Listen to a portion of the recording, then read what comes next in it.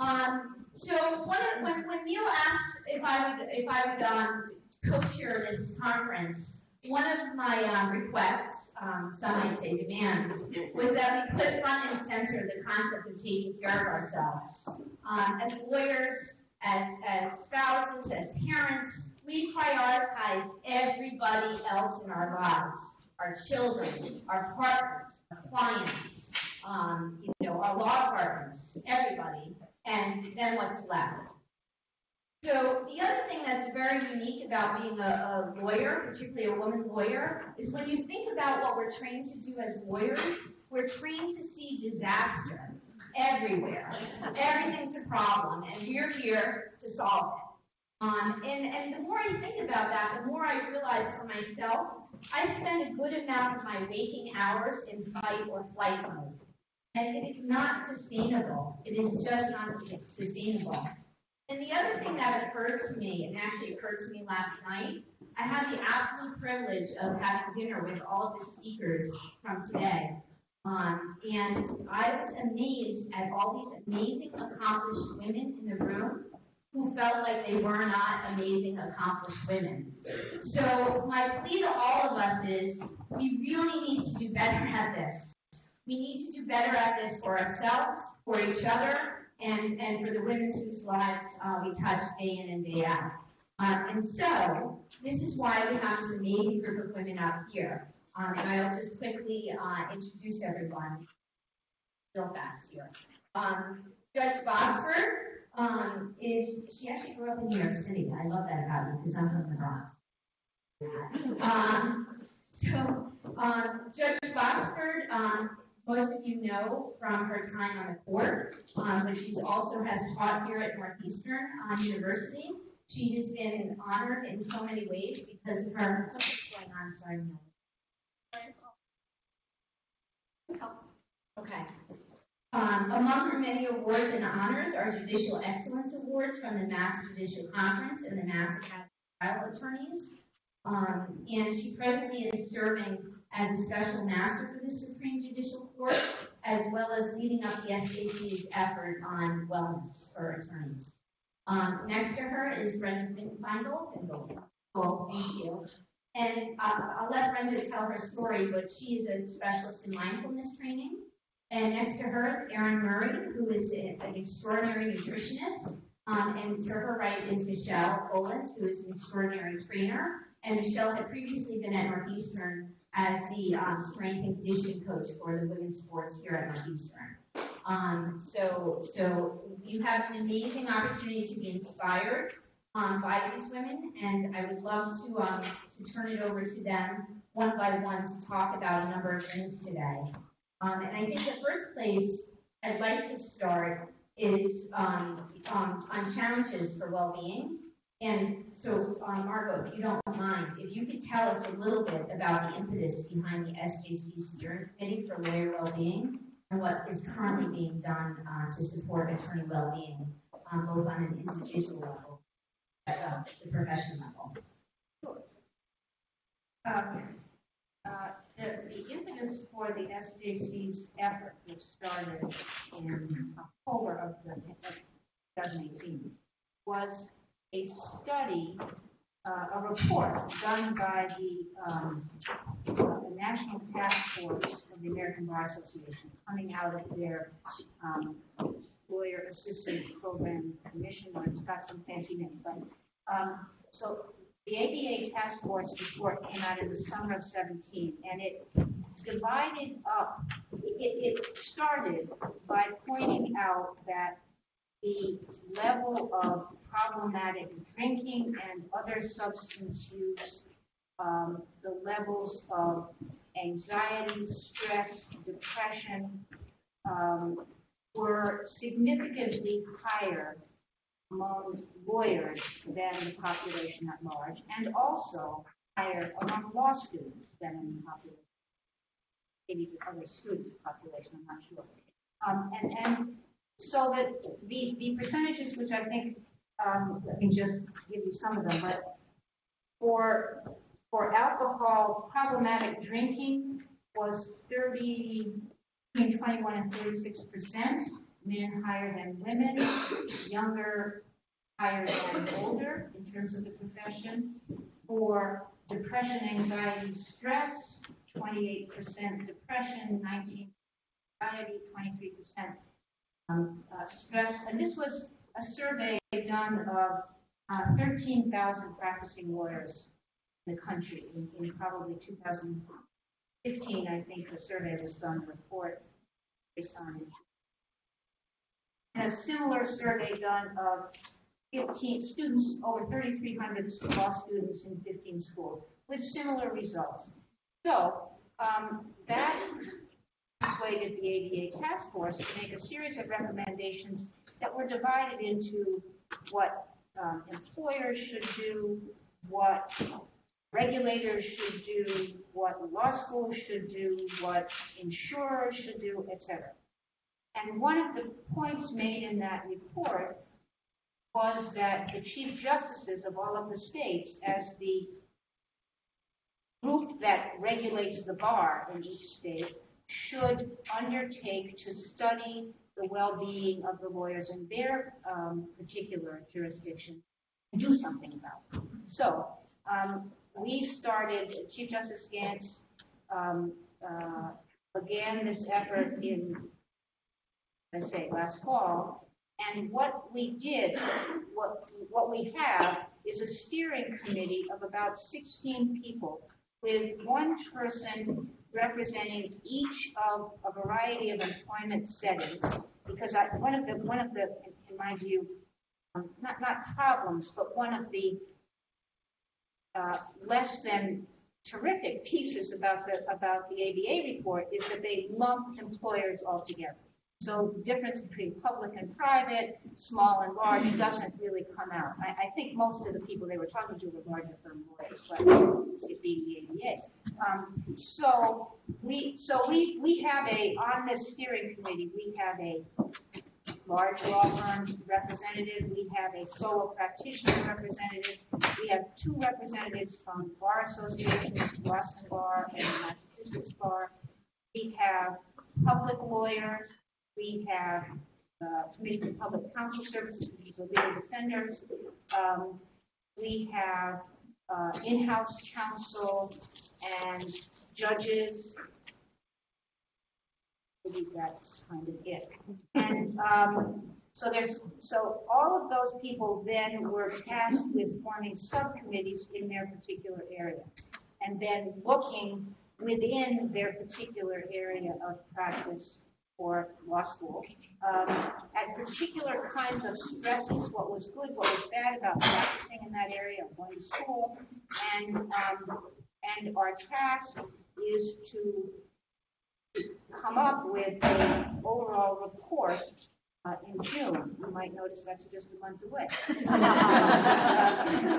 Let's see if we get there. Uh, I, I think we will because we have a very, very organized person running, which is not me. so um, there is a shot anyway.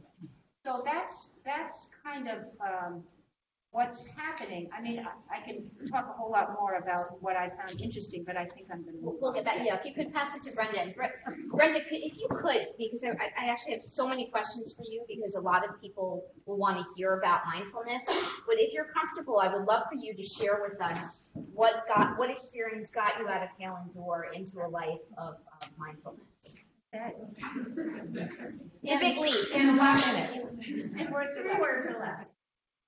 So just to let you know what I'm doing now, I School of Public Health at the Mindfulness. I teach mindfulness and mindfulness-based stress reduction.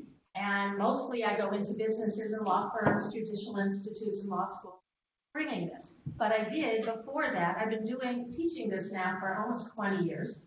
But before that, I spent 17 years at Dorr, a large Boston law firm, as a litigator and then the partner responsible for training and professional development. And people ask all the time, well, how did you make that shift? And it, the shift kind of made me. So by all accounts, I was successful there. I loved what I was doing. I had great colleagues and friends. And at the same time, I think I was totally stressed and out of balance for all 17 years. In fact, my first day as a summer associate, I was a wreck. And so, you know, here we are, 17 years with, so my temperament is anxiety. And I've had that all along and chose to be a litigator, you know. talk about a, talk about a, a disconnect from head and heart. Um, and I always had symptoms of sorts. You know, finding myself eating a lot at different times and not even knowing at the time, but that's a symptom of something. And backaches and shoulder aches and stomach aches and, you know, uh, stress, exhaustion, you know, a lot of stuff that most people have. And I really didn't think there was anything I could do about it. I even remember talking to my father and hanging up the phone. Dad, it's a law firm. This is just how it is. Click. And, and even when I understood that there were things that I could do, I didn't think I could. So, uh, at age 40, with a three-year-old at home, really completely out of the blue, I was diagnosed with colon cancer, had major surgery and seven months of chemo.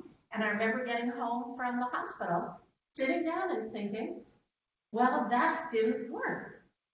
You know, I did it all right, and it didn't work. I couldn't sustain it, and I just made this decision, like any good lawyer, I'm going to figure this out and save the profession. Not. I think one thing I realized is there isn't any, every one of us would be different in how we define well-being and balance and what we want.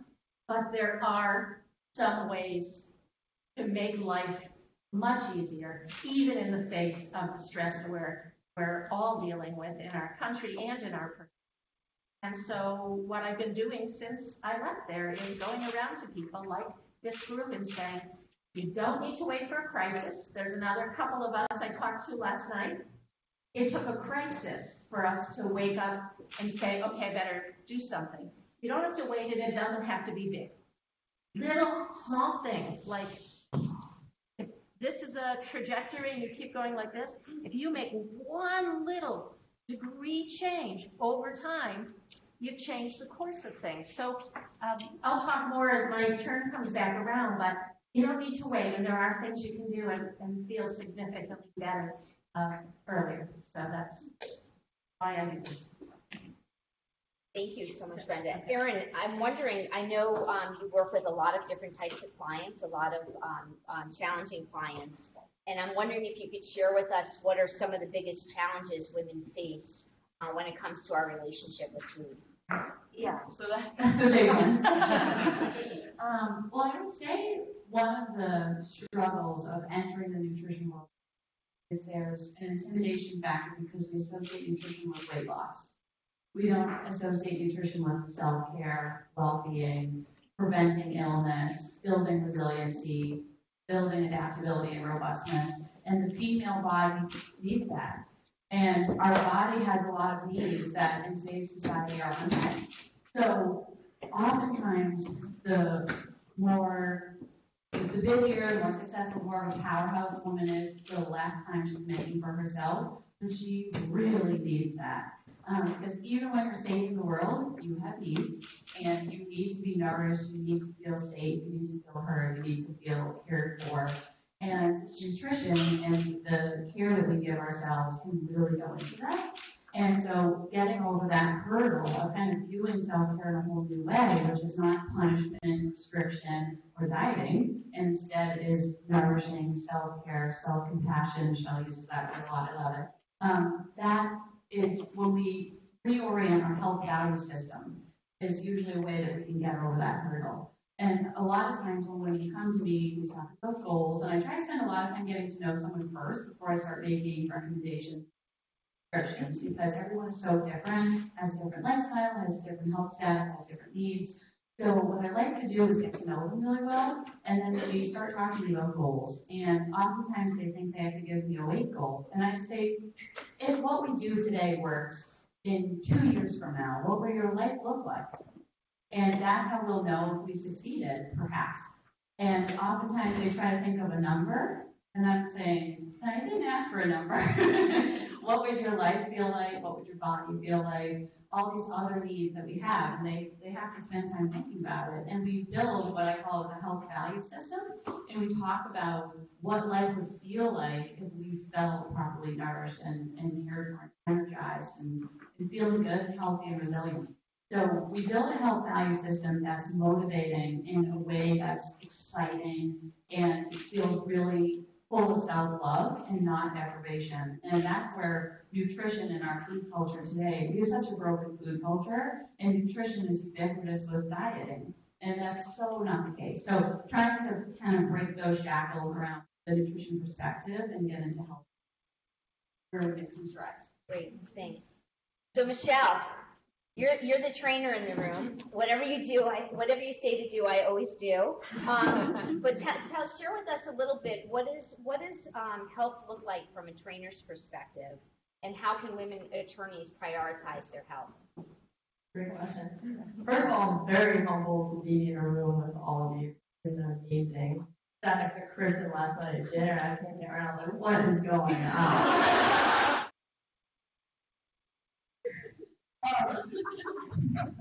So everyone wants these like magic tips and some sort of secret I can tell them to get started and take care of themselves. And really, it's so hard because you have to, some people have to change their entire value structure. So how we see the world as a whole is based on a hierarchy of values. And if you're not the first person or first value on that list, sometimes you have to like completely erase that and start over and make yourself that first priority. And that's why it's so hard. You completely have to make a whole new value structure sometimes. Um, one of the biggest things too is I think people associate exercise and also nutrition as well with aesthetics, the way people look. But really, the people you see on Instagram with like 10% body fat, they're actually pretty unhealthy individuals. So I think having the mind frame of health as how you feel about yourself, seeing what you're capable of doing, have a relationship with your body, and know that you're creating a more robust organism and that you'll be able to handle more stresses outside of the gym. And also associating exercise with just the gym itself. There's a lot of other activities that you can take part in to have self-care. And the biggest thing about that is self-value, the ultimate kind of equation with that. Thank you, Michelle. So, um, Brenda, I think a lot of people have questions about what mindfulness is. And I'm wondering if you could give us a good description of what mindfulness is. And I, is it hot in here or is it just me? All right. Maybe then we could also walk us through a, a simple, short mindfulness exercise and maybe we can all get recharged from that. Okay, and I'm giving you permission to say, Brenda, that's enough, pass the mic, so Okay. help keep me on the time that you have. Got it. Um, so, does anybody have a mindfulness practice here? So keep your hands up for a minute and everybody look around and see if you know someone or want to connect with someone and let them tell you what they do. That is the most powerful thing. And maybe there'll be a, a committee, I mean, a, a community that will get together and do this. So how many are new to mindfulness? Okay, great. So mindfulness has been called the most powerful inner resource for stress reduction. And really, it is about accessing our most um, innate knowing about how to cope and how to use our capabilities to manage our life in ways that are healthy. So, um, the most common definition of mindfulness from Jon Kabat-Zinn 40 years ago is paying attention on purpose in the present moment with curiosity or non-judgment. Paying attention on purpose in the present moment with curiosity. Now, I know that you have all come in intending to hang on every one of our words, right? Has anybody's mind wandered while you've been here for the last 10 minutes? Like 200 times? Yeah, yeah. So I, I want to say congratulations. Everybody here is human and you're all okay. So uh, sometimes I think I get to go, just go to groups and say we're doing just fine. We have human brains. Harvard did a study that said 47% of the time we are not present for what's happening in the moment. So that means we're lost in thought, planning, worrying, daydreaming, almost half of our life, which has tremendous implications for the quality of our lives and our work product, which is why mindfulness is used for cognitive increasing, for um, diversity and inclusion efforts and leadership and, and health and well-being. If we're missing, we don't know what's going on and we can't make choices. So 40 years of research tells us that this, so mindfulness is also just enhanced awareness. It's being aware of what's happening as it's happening. And there is something about focusing our mind to be fully here that creates, it can create enormous benefits. Physiological, emotional, mental, of all levels. And allows us to experience a different way of being in our lives. So mindfulness is not synonymous with meditation. Meditation is one way you cultivate mindfulness. But there's many ways to strengthen the mind's ability to stay focused in a particular quality. So it's not just focus. The quality that makes it mindfulness is that it's friendly focus, kind focus. So if you're really hot and uncomfortable in here, you have a relationship with how uncomfortable you are or with the heat of the body. And without mindfulness, it might just be sitting here for the next 45 minutes going, oh, ah, so hot and uncomfortable. You know, it just takes us over. And with mindfulness, we might say, well, it is hot in here. And I can feel that and still be okay and be here. So we're shifting how we relate to the discomfort, to a pain in the hip, to a fight with somebody, to a traffic jam, or to our own crazy thoughts, the ruminating thoughts. Oh, that's just a thought. And so mindfulness helps us to see and understand what's happening inside and be able to make choices about it. Make sense? I mean, there's a lot, but I'm trying to give you. So I want to show you one way that mindfulness helps with um, stress reduction. It helps us work with our thoughts. So um, anybody here ever have like really frustrating thoughts? you know that I only do this. Yes.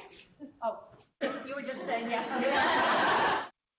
Hey, me too. Me too. I only do this because they say you have to teach like you need to go. So every day I get to say, breathe.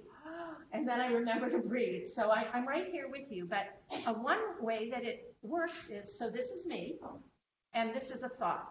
The thought comes up, and before I know it, I have latched onto it, and it is going to take me for a ride. I can't believe Judge Botsford said that yesterday. Oh, what am I going to do? I'll never get all this work done. I forgot to make this reservation. My leg hurts. Oh my God, what if I'm going to die from leg problems? we know this, right? This is exhausting.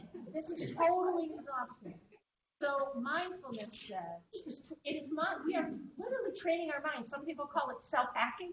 Like we're rewiring and we're learning from um, fMRIs and brain scans that we can actually rewire our circuits. It's not easy, but we can do it. So with mindfulness, we're learning to say, oh, there's a thought. Oh, God, I really want to think it, but I'm going to breathe. I see it. I see it. And what Everything that arises falls away, right? So at some point, it falls away. Oh, and emotions too. And, you know, they don't always fall away right away, but in this space, we have choice and we have some freedom to make a decision about what we want to do about this. Do I want to think about it? Do I not want to think about it? Is this ridiculous? You know, the bumper sticker, you don't have to believe everything you think. Like, you know, that's news for a lot of people, right? Um, there are many ways. There are many ways to cultivate it, and we'll talk about it at the next go round. But do I have two minutes, or should we wait? Do two minutes mindfulness? Yeah, I think that. I think everyone's ready Let me for just it. go practice. Okay, so I just found the greatest toy. They're, um, I ordered them on Amazon. They come in 30 seconds, one minute, two minute. So remember, I said this does not have to take a lot of time. And for those of you in a law firm, Point one? Point one, that's all. But this is, this is, I didn't realize I had to bring. Uh, It's two minutes, okay, so we're gonna do a two-minute sit of practice. Meditation is not the only way to do it, okay? But we're gonna try something. So you wanna take a posture that reflects that we're about to do something purposeful, that we're intending to pay attention for the next two minutes. And eyes can be open, but just sort of softly down, so you cut a little stimulation, or closed. So there's no real particular position, but, but just have it reflect actually a balance between ease and wakefulness. So we're so often 100 miles an hour or collapse. Can we be both alert and relaxed? So I'm going to start on two minutes. So mindfulness is essentially being aware of. So becoming aware that you're sitting. Sitting and aware that you're sitting. Can you feel your feet on the floor? The sensations of pressure maybe in the shoe or the sock? How about the feeling, sensations of the body in the chair?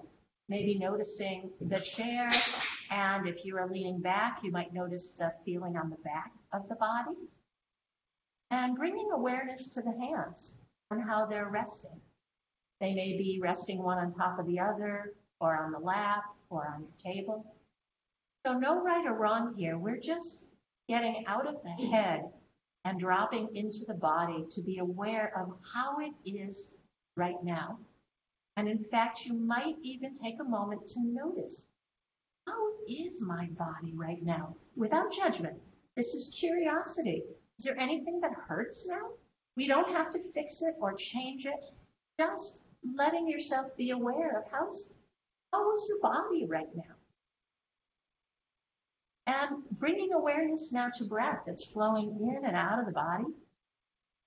You've been breathing all day, well, and you've been breathing since you were born. This might be the first moment today that you brought attention to breath. So just feeling it moving in and out of the body, breathing and aware that you're breathing. There's nothing magical about the breath, but the breath and the body are always in the present moment. So when you're scattered or anxious or worrying, you can get out of the mind and right here, we're in the present moment. Nothing to do. We're not trying to relax, nothing to improve or change. And in that, so different from what we do all day long, we have a possibility of resting. So just taking a moment, hands on the lap, or wherever they are, feeling the breath right here, not needing to feel anything in particular. And you can open your eyes and actually see and aware that we're seeing a beautiful room of people and we can hear. So that's a practice, one practice, and I'll come back at our next go round and give you some ideas for integrating it. Oh. Thank you. Thank you so much. Great, actually. Um, so one of, everyone in this room knows how to work hard. Um, and one of my favorite expressions of late has become, if you work hard enough, what was your ceiling becomes your floor. Right? Think about that. You work hard enough, what was your ceiling will become your floor. And in putting this panel together, I was hoping everyone would feel inspired to break through their ceiling and make it their next floor. Whether that means you're going to start eating green vegetables once a week, whether that means you will dabble in mindfulness practice, whether that means you might um, um, reach out to a friend who's struggling with an alcohol addiction issue, whether it means you're going to start exercising one day a week. Maybe if you're Nancy, rather than doing 800 laps, you'll do 810 laps. Um, well, whatever your whatever your current ceiling is, let's make it your floor. And part of why we wanted to have this group here was to help give people the tools and the inspiration to start doing that. Um, so let's talk about where do we start?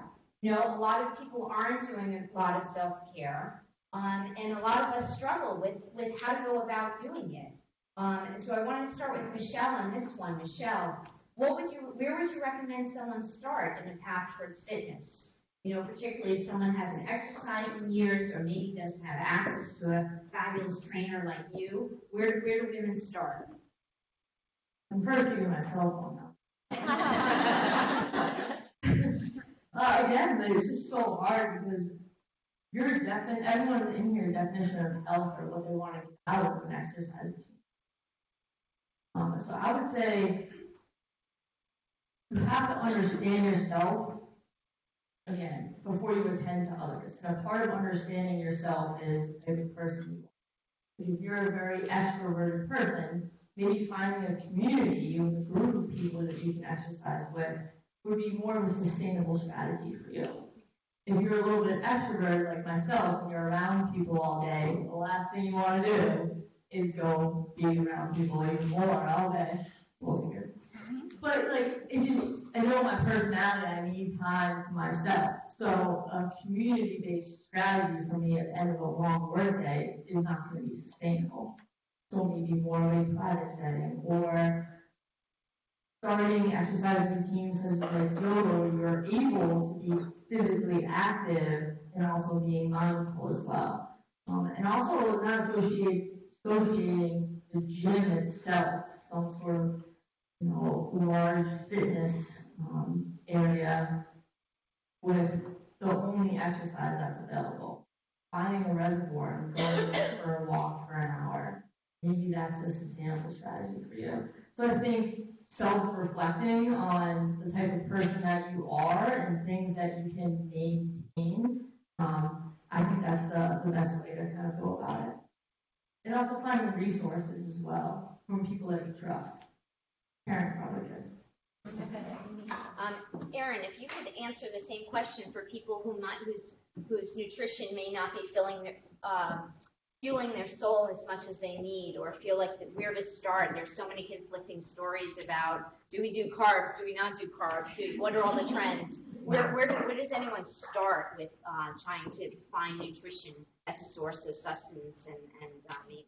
That's a good question. Um, well, I think with the diet culture that we all get bombarded with, it's very hard to discern what to actually do. And that's a big but that's a discussion for another day. Um, what I would start with, and it's it almost sounds it either sounds too easy to some people or it sounds too hard. But I would start controlling the quality of your food. And when I say that, I mean less processed foods and preparing more at home. Because a lot of people with diets get worried about quantity, and that's the macronutrient wars. So our three macronutrients are carbohydrates, fats, and proteins. Those can be metabolized for energy transfer and used to create ATP. Everyone fights over which macronutrient is the worst thing ever, what's on a pedestal. Right now, fat is very popular. People hate carbs. It used to be the reverse. So instead of even weighing and measuring our food, start with quality, not quantity. The quantity debate gets into a lot of diet wars, and it's it's kind of an inappropriate topic to put on a population level because our genetics are all so different. Our activity levels are different. Where we're at remotely in our lives completely different.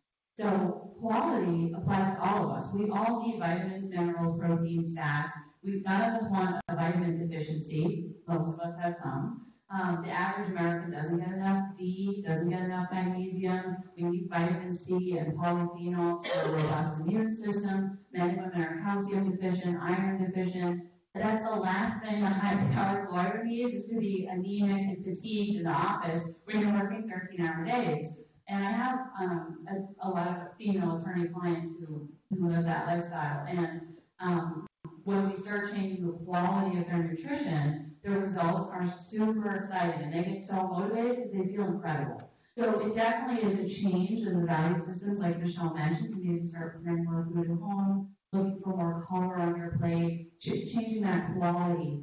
But it can also be truly one of the greatest investments you ever make. And hopefully the results will very quickly have you inspired and committed and enjoying the change, and then it's exciting and fun and not as much work.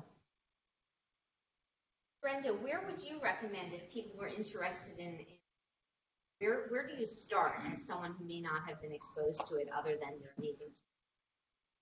Okay, so a couple of ideas, and by the way, I have four handouts that are out there, so if you haven't gotten them, please pick them up.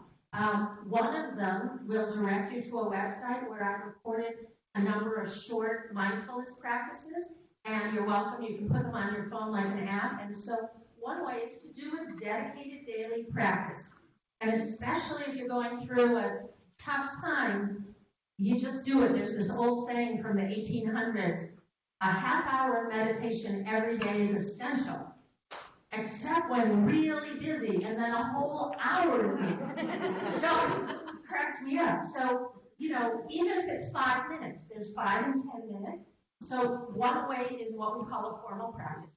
The other way are informal practices. And they might be something like a one minute mindful pause, and you wouldn't believe how many breaths you can get in one minute. Sometimes I think I mistakenly set my timer because it takes a while. So you might do a one minute mindful pause or a one minute check in, like, how am I? And then listen, not just how am I? Oh my God, hurts, a little sad, but oh, oh, yeah, my neck really hurts. It's like achy pulsing here, and, and I'm sad today. I mean, it, it's fine, but I feel some sadness, and boy, my mind's going 100 miles an hour. Okay, how am? And then you bring that in. So some of those are adding a minute or two. Then there's something, and I learned at a mindful leadership conference that I love, the phrase staple it. And the woman put it on the board and she said, here's the answer to everything, staple it. And what that is, is staple practice to something you're already doing. So you can bring, you can cultivate mindfulness in any way, eating, walking, five minutes. If uh, Michelle gets you exercising, like we like to listen to um, music or watch TV or daydream. That's fine, by the way. We can't be mindful all the time. We, it's good to daydream and plan and reflect, but if the first three minutes of an exercise routine isn't about distraction, but about I feel the muscles in my leg and my heart's pounding, and then let it go and go wherever you want to go. That that is something you can do. Um, brushing your teeth. So I was at a mindfulness and law conference, and somebody asked, "How do we bring mindfulness to the legal profession?" And the teacher said, "Most of us can't even brush our teeth mindfully. Let's not put the cart before the horse."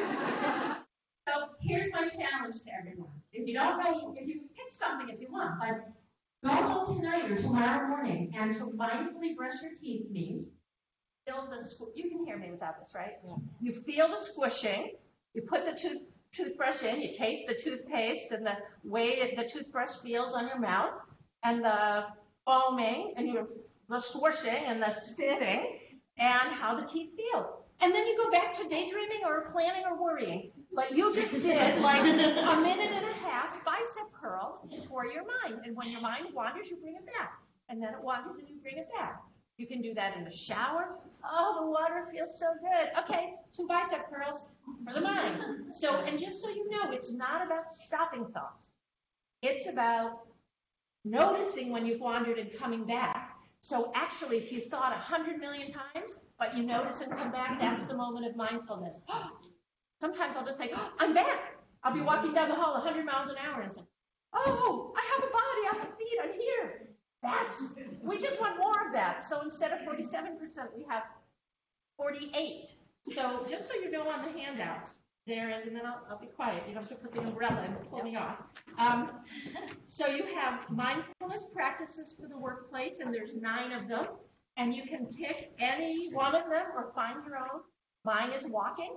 So whenever I walk to get a cup of coffee or to go to the copier or anywhere for 10 steps, I bring attention to my feet. I feel my feet. I feel my feet. What am I going to have for lunch? Come back. I feel my feet. That's it. That's the practice. So notice um, what you might want to do, even listen. And there's a stop practice. That's good. Just getting to notice when you go on autopilot. Just notice, wow, I just drove to work today and I have no memory of the ride. Right? you know, just because as soon as we're we're halfway there, things change. Like, um, and I'm quiet. One, one thing. Did anybody feel relaxed during that little practice? I never invited you to relax. I said, bring awareness. When we bring awareness, something shifts. Might notice you forgot lunch, your back hurts, and it would be nice to just stand up for a minute and go, oh, that, you know? So, not tr- any of that. So, you have a stop practice, you can figure out what your um, stress personal warning signs are, and use the practices and everything else. Okay, Thank you. so that's where I'd start. Would you pass it to Judge Botsford, please? So Judge Botsford, um, what, str- what strategies do you see as being the most effective to address challenges to attorney well-being? You mentioned that you, you came across some interesting things as you were um, progressing with, with what your steering committee is doing.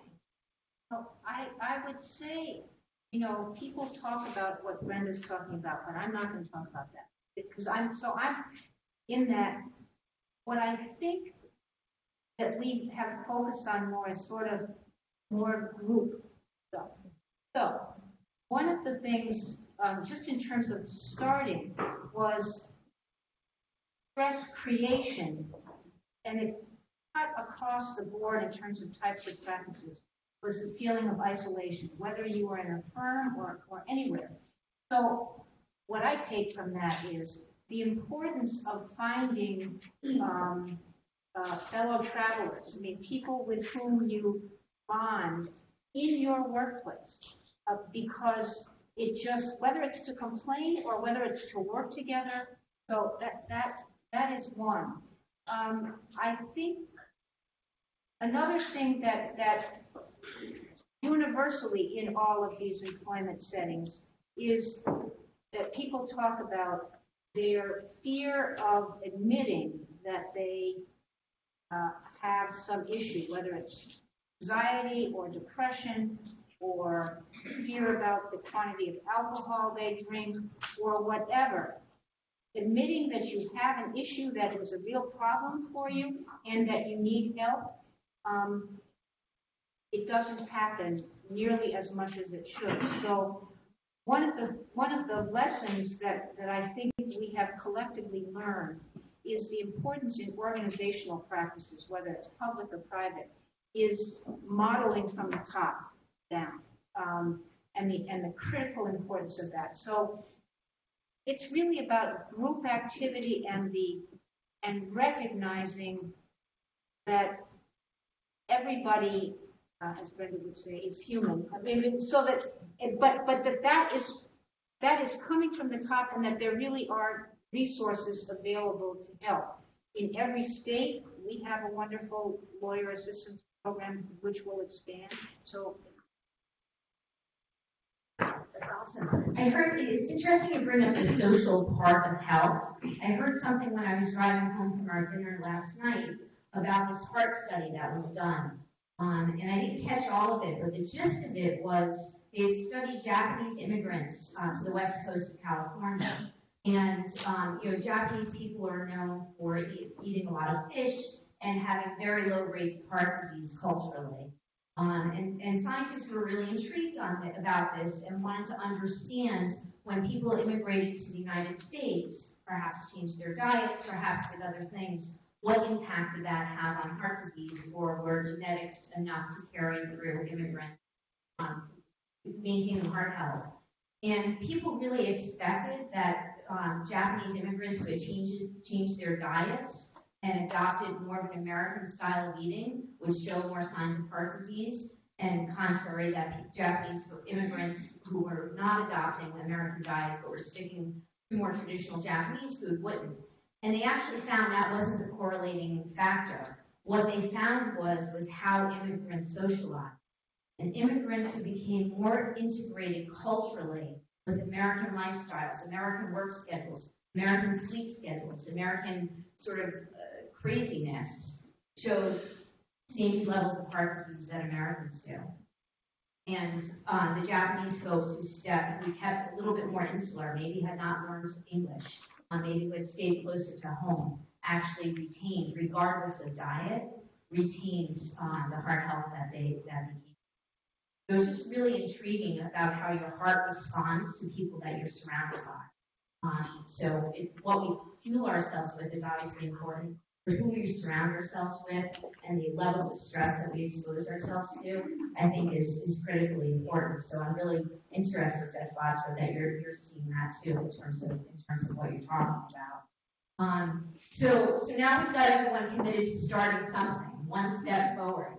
How, how do we get women to continue self-care? Michelle, what do you find um, best motivates uh, your, your, the women athletes you coach, you know, your clients? What do you, what do you think makes for sustainable self-care when it comes to exercise? Uh, so I had previously worked here at Northeastern University and had the pleasure of working with a lot of the female teams here. One of those teams is the women's ice hockey team. I don't know if anyone here knows anything else. They, uh, finished third best in the country this year. Um, so they have international players all over the world play for their national. That's a ball game. they don't need motivation from me um, at all. Um, but I just recently started working in the private sector. And that's something that I've had to learn a lot. You know, they're not guaranteed to come back to me tomorrow after our session, whereas like the athletes here, you didn't really have a choice. um, so those things are very difficult. Um, I would say you need to have honest discussions with clients about what is important to them. Um, because a lot of people come in and don't have a goal. They just want to do the right thing in terms of this is something that they think they should be doing. Um, so I think having in-depth conversations and continuously asking questions about the underlying reason why they're there and establishing that and holding on to that and building on that, that's what's like making them come back and what's giving them sort of motivation to continue on. And sustainable strategies, um, I talk a lot about this in my, my own company that I have on the side, but um, you know, we all see kind of these images on social media of people doing Olympic lifting. And that's kind of like our perception of what exercise is. Those strategies for most of the population are not sustainable strategies. Uh, you probably can't do that type of activity for 50 and nothing negative happens. Um, there are consequences to everything that you do. So I think the thing I would focus on the most is aerobic activity. So long duration activity and kind of working on, a lot of people call it like cardiovascular activity. I think that's the most sustainable strategies and probably a large amount of health benefits from that type of activity. Um, and then also the importance of resistance exercise. And again, people have this perception of back squatting 300 pounds is resistance exercise. And, you know, that could be further from the truth. And I think a lot of people don't truly understand the benefits of resistance exercise, especially um, females, bone density, how it can actually boost your immune system, um, how it can it increase blood flow to your brain, things like that. So, I know, I would say finding a trainer or a community system um, or friends who value exercise to kind of keep you in line. So having people around you to support you, that's anything in life, right? Like you want that for your kids, people you love. Um, so I would say having people around you that support you in those activities probably will assist that in the, most possible way. And then also finding things you enjoy. And I think those are some, probably some of the strategies that I recommend. So unfortunately, we, we need like a two-day meal. Next year is two days, okay? No, we, we're running out of time, but I'm asking, um, um, those on the panel who want to write down a quick, uh, phrase or encouragement to those of you in the audience, maybe to inspire you to, uh, meet that ceiling and make it your floor. And if you have your phones, you're welcome to take a picture at this point when everyone. Let me just make sure everyone's ready. Yeah? All right, so let's turn around our signs for our audience.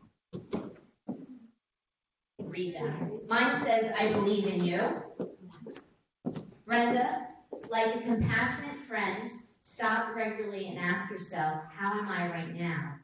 Short moments, many times, anywhere, anytime. Thrive and be uncommon, yourself first. Thank you all so very much.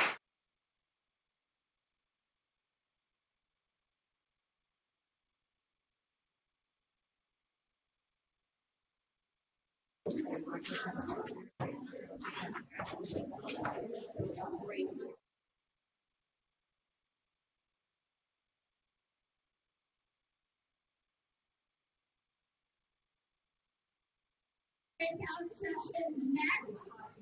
My name here is Innovations in Law Firms, and we're running our report around table.